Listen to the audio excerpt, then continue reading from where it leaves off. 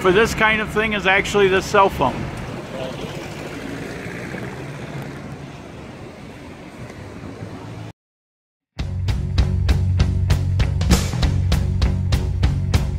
Here's your story, let's begin. The water's fine, come on, dive in. The future's here, it's right before your eyes. So I had heard about this place for quite some time. I had read about it. Uh, it's not very well known in the gringo community, but uh, some people know. You just saw there was a there was a gringo at the checkout. It's a place called Tienda del Sur. It's on Las Americas, uh, right near the Don Bosco uh, intersection with Las Americas.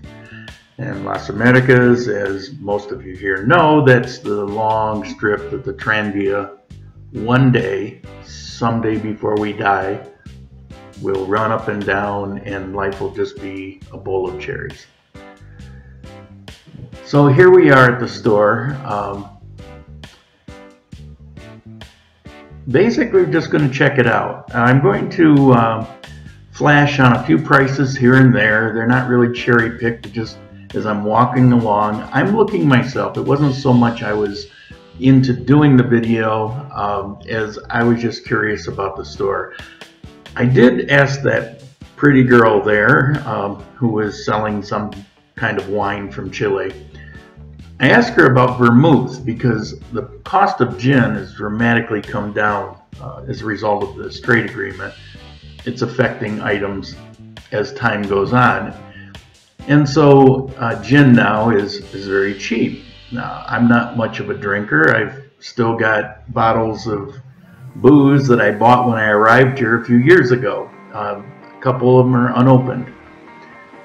But I do like gin, and I do like uh, gin and tonic, and now and then I like a martini. So maybe once or twice a year I have a craving for a martini. And when I have a martini, I want olives in it. I want a little splash of olive juice. I want a little bit of vermouth. And I want gin, not vodka. So I asked her, and she didn't really know because she was just a temp there. But she got somebody who ran and checked and looked, and, and I was told no. I went back to that um, shelf later and took a look, and lo and behold, I found vermouth. And I bought vermouth, and I had a martini, and I probably won't be craving one until sometime next year. But they had vermouth there. Super Maxi doesn't carry vermouth. Now, I don't know if Tienda del Sur is connected with Super Maxi, but I thought this would be a good exercise in pricing uh, once I started looking at this video and I saw some prices that I had focused on. What I did was I went to the website for Wegmans. Now, if you're on the northeast part of the United States, you know Wegmans as being maybe the finest uh, supermarket in the world. It's it's rated as a business in general as one of the best businesses in the United States. And I love Wegmans. I grew up with Wegmans. Wegmans is not a cheap store, but it's not outrageous. So it was a good comparison. So I looked up on Wegmans the equivalent of what I saw on these shelves. Now I had to do a little bit of math with the uh, milk because the milk here comes in liters. The one I looked at was a quart. But in calculating it out, it turns out that the milk cost was about the same. But here's the difference. The milk that I priced at Wegmans was fresh milk. The milk that I priced here is that ultra pasteurized stuff that can sit on the shelf for six months. And it doesn't taste like milk and it's kind of nasty. Um, so take it for, for that. Now, in going through this store, what I did notice overall on pricing is in some cases it was more expensive than Super Maxi. I didn't really see bargains in this store. And this is a store for locals. It's expensive. So I actually feel better now about going and buying in Super Maxi. Now you can go to the market, and we were just discussing that in the house this house a few days ago. about going to the market. But here's the downside. You know, you say, well, you can get all your fruits and vegetables at the market and they're cheap. Yeah, but I'll tell you what, if I buy a bag of oranges at Supermaxi for juice, I can use all those oranges. If I go to the market and I buy the equivalent amount of oranges, it'll be half the price. I agree. But I'm also going to be pulling out a number of rotted oranges that they snuck into the bag. Um, and that seems to happen all the time. Even when I think I'm watching, I don't know if they've got this magical transporter device or how they managed to do it. But you know, you think you got a sharp eye and you're watching them, but you get home and you open that bag, and sure enough, you're throwing some of the stuff away. If you take that into account, and if you take into account certain other things, which I'll mention in just a minute, the Mercado becomes really less of a bargain. Now, potatoes. If you buy potatoes, uh, papacholos, in uh, that's a big potato, as close as you can get to maybe an Idaho potato. If you buy it in Supermaxi, out of the bag, you just can give them a quick wash, peel them, whatever you want to do, use them. If you get them in the market, they're like meteorites. They have this crusted dirt that I have, for me to clean them without taking three years to do it, I actually have to use steel wool and I have to scrub them and scrub them and scrub them. So I get these potatoes and they're inside, they're the same potato, but I have to spend 30 minutes getting enough prepared for a meal for five or six people. It's it's crazy. It frustrates me. Yeah, they're cheaper, but is it really worth it? I don't know. I don't know if it's I don't know if it's worth it. I, I buy mine at Supermaxi. These are the things you, you can run into. Uh, now, in the last video, uh, where I was going through that area near the church in El Centro, I scanned over a couple menus and I got a message saying, Are these prices for real? Because this is the price that I would pay in a restaurant in San Francisco. I thought everything was cheap. And it was a great comment. I've said this over and over, and I got one comment once accused me of lying because I posted up some prices for paper towels uh, in Supermaxi, and because he didn't believe it, and because it was two or three times more than uh, he's used to paying, he said I lied. But I mean, seriously, does he think that I went through all the trouble to set up a backdrop of a fake Supermaxi with fake pricing? people really need to understand if there's one thing that I can get across in these videos that people need to be cautious about, it is not a bargain here. You are not going to come here for $1,000 or $1,500 or $2,000 and live like a king. You can come here and live a nice life.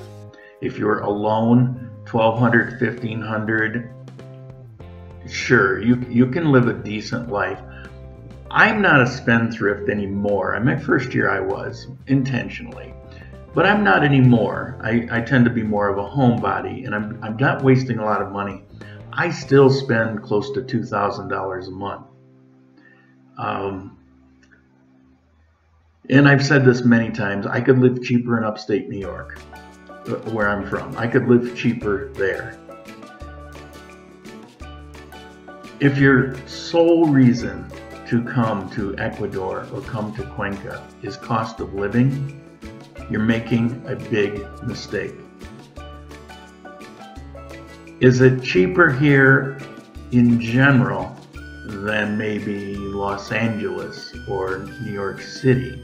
Uh, yeah, yeah, but there's a lot of places in the United States that the cost of living is similar or even less.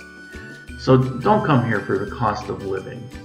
Uh, you want to have other reasons to come, or you will have a rude awakening.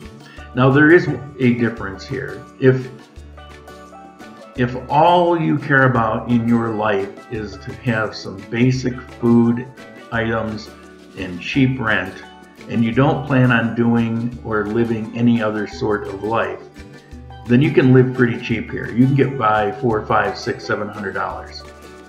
But it will be a miserable poverty ridden existence.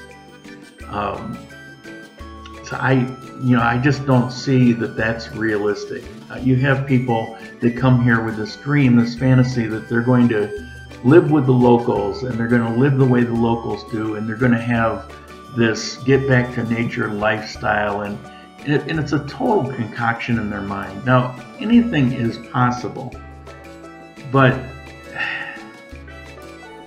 you can do that in places where the cost of living is much, much less. So think long and hard about this. Now, I was asked by a couple retiring who had approximately $1,800 a month that they could live on. And how could they do here? How would they do here? And I think they could do okay. I think that um, because they don't eat out in restaurants a lot, uh, because they're not out, you know, wasting a lot of money, and they're just looking to go for nice walks and see nice parks and live a decent existence and cook at home. I think they could do fine with that. I think they would do all right. But they're going to need to do a bit of education to learn how to do purchasing because it's very easy here to spend way more than you need to spend. So keep that in mind. As a matter of fact, when people come here, they're always looking for English speaking services. They're always looking for an English speaking lawyer. They're looking for an English speaking hostel or, or uh, you name it, dentist, doctor. And I'm going to make a statement that will aggravate, piss off some people, but you know, I'm sorry, I'm not here to please everyone. Most or a good portion of the people that are English speaking providing those services in a way are preying on you. In other words, they're charging a premium, they're charging more, they're charging extra, they're charging more than you need to pay for the simple fact that there's some communication going on. Now, if communication is a problem, I would suggest another route. Rather than go and pay way too much for all of these different people, hire yourself for 20 to $30 a day, uh, what I call a cultural guide that will speak English and go and represent you. In the long run, you're going to save a lot of money. You're going to save a lot of money. I was told about some dentistry work that somebody had done because it was a gringo, um, a, a, a dentist designed to work for gringos. And he said, yeah, it's about half price in the United States. But in actually considering, you know, what he was having done, it should have been 25% of the cost of the United States. So he's paying double what he would pay for a good or better dentist who didn't speak English. So that $30 a day to set things up and maybe go with him when he goes in would be one heck of a bargain, bargain considering the thousands of dollars that he's spending and overspending. So certainly consider that. Pricing is, a, is an issue here. You need to learn how to uh, negotiate and navigate it. Uh, you need to be careful about what you're doing. Basically, you need some really good advice if you're coming here on vacation or if you're going to live here. So let's wrap this video up. You know you could.